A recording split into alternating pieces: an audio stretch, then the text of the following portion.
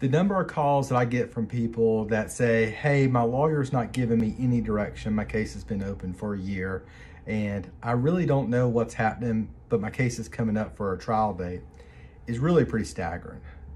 I get those calls really and truly um, at least two or three times a week from people. It's not uncommon for people to be in that situation, but I want you to know that you do not have to accept that sort of response from your lawyer.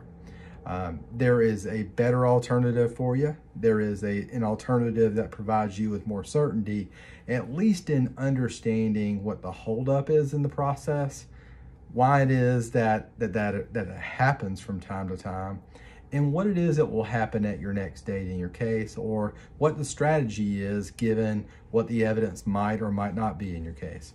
Your lawyer needs to be discussing those things there needs to be sort of a um, two different paths that are outlined for you and then you can ultimately plan your life accordingly. You can plan the decision that you're going to make accordingly.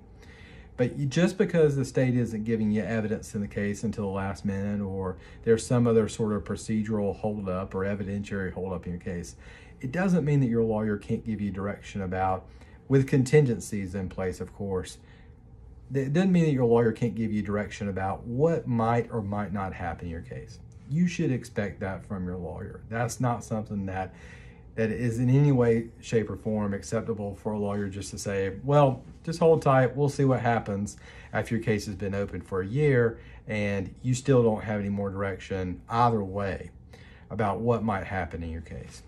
Um, if you'd like to talk about your problems, talk about your case, feel free to give me a call. My name is Ben Sessions. My phone number is 470 225 7710. Again, 470 225 7710. Thank you.